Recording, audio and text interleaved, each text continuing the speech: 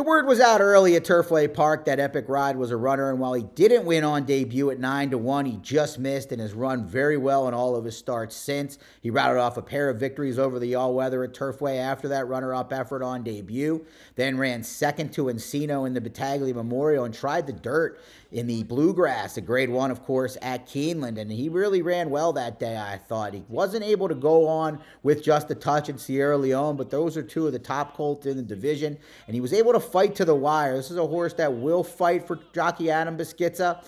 Draw will be important for Epic Ride. He's going to need to avoid a wide voyage. He's going to need to avoid getting caught up in an early battle. But he's got speed. I think he's got the stamina to stick around, and he's going to be a huge price. Epic Ride, worth including in the third and fourth spots, especially if spreading in the exotics.